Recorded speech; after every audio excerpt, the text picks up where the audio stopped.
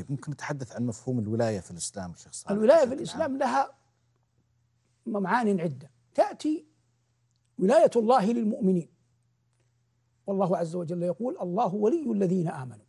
وهذا أعظم شيء يطلبه المؤمن من الله أن يتولاه الله. لأن من تولاه الله لن يضيع. وقد قالت هاجر لخليل الله إبراهيم أالله أمرك بهذا؟ قال نعم. قالت إذن لا يضيعون الله. فالإنسان أعظم ما يجنيه من ولاية الله له أن الله عز وجل لن يضيعه وولاية الله تنال تنال بأداء الفرائض والنوافل. وفي الحديث من عادى لي وليا فقد آذنته بالحرب وما يزال عبدي يتقرب إلي بالنوافل حتى أحبه فإن أحببته كنت سمعه الذي يسمع به وبصره إلى آخر الحديث. فهذا أمر شأنه آخر. باقي الولاية بين الناس. الولاية بمعنى بمعنى عند العامة بمعنى السلطة. وإن كانت السلطة في كلمة سلطة فيها نظر لكن نحن نقرب المعنى للناس بمعنى السلطة. تأتي ولاية على النفس وولاية على المال. ولاية على النفس وولاية على المال من حيث التقسيم العام. يوجد شيء في الشرع اسمه ولي الأمر. ولي الأمر يعني الحاكم الذي له بيعة في الأعناق. ولا تعطى البيعة أبدا لاثنين في وقت واحد. لا تعطى البيعة لولي أمر واحد لولي أمر حاكم لاثنين في وقت واحد. اثنين أقصد أنه ما يصبح ملك وملك لكن ملك ولي عهد هذه مسألة أخرى. ملك نائبه هو يختار وهذه تجوز شرعا بالاتفاق. لكن أتكلم رأسان ندان لأن ولاية العهد مثلا مثلا المملكة السعودية الأمير محمد ولي العهد لكنه تبع تبع للملك. لكن أنا أقصد لا توجد لا يجوز في الشرع بيعتي بيعتان لشخص لشخصيتين بيعة واحدة. فمثلا بعض الجماعات تنتسب للإسلام تعطي بيعة لمرشدها لأميرها لإمامها لرئيسها بيعة سياسية واضحة سواء كانت معلنة أو خفية. فهذه البيعة قطعا بنصوص الشرع كتابا وسنة بيعة باطلة, باطلة. لا تجوز أبدا وما ولا يترتب عليها أي شيء شرعي باطلة أصلا وفرعا. نأتي هذه البيعة البيعة الأولى. هذه البيعة لولي الأمر لا يمكن أن تنعقد إلا لذكر بشروط معروفة.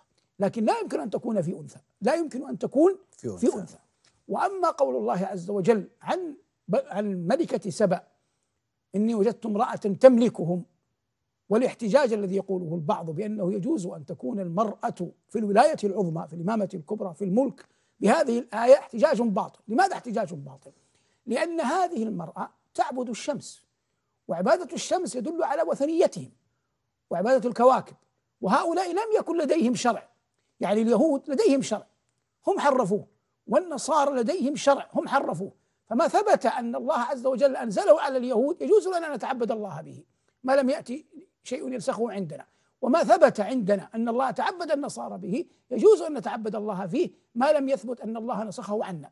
أما غيرهما غير اليهود والنصارى فلا نتعبد الله عز وجل به. هذه أمة وثنية أمة تعبد الكواكب. ليس هذا شرعا من الله تبارك اسمه وجل وجل ثناؤه. فلا يأتي أحد ويقول شرع من قبلنا شرع لنا. واضح هذه قضية؟ لأن النبي صلى الله عليه وسلم قال لن يفلح قوم ولوا أمرهم امرأة. هذه البيعة نتكلم للحاكم وهذه له السمع والطاعة في العسر واليسر والمنشط والمكره في غير معصية الله. هذه قضية. نأتي لولاية الأفراد بعضهم على بعض. وهذه غير داخلة في الولاية العظمى غير داخلة في الولاية العظمى. تكون على ال على ال على طرائق. ولاية المال مثلا اليتيم. يكون له ولي يعهد إليه بأن يقوم برعاية ذلك اليتيم وكفالته وتسليم ماله إليه إذا بلغ. هذه نوع من الولاية. ولاية النكاح. وتكون للأب في المقام الأول ثم من هو أقرب درجة منه أو لوصيه إذا وصى. هذه هذه ولاية. هذه كلها الأولى ولاية مال والثانية ولاية نفس. فتختلف من حال إلى حال لكن هذا من أقسام الولايات في الإسلام. وعلى من ولي أن يتقي الله جل وعلا في من ولاهم الله جل وعلا عليه سواء كان حاكما أو كانت ولاية نفس أو كانت ولاية مال. هذا التقسيم العام هذا لفكرة التقسيم العام الولاية. فكرة الولاية. ماذا عن ولاية الأب على ابنته ولاية الأب على ابنته من أعظم الولايات. وأشدها ولا يمكن أن تنزع منه إلا بأمور يعني تثبت حقيقة يقينا أمام القاضي. والقاضي وحده من يملك نزع ولاية الأب عن ابنته وهي من أعظم الولايات رسوخا وثباتا في الدين. فحق البنات على آبائهم عظيم وحق الآباء على بناتهم أعظم. من عالي جاريتين حتى تبلغ دخلت أنا وهو الجنة كهاتين.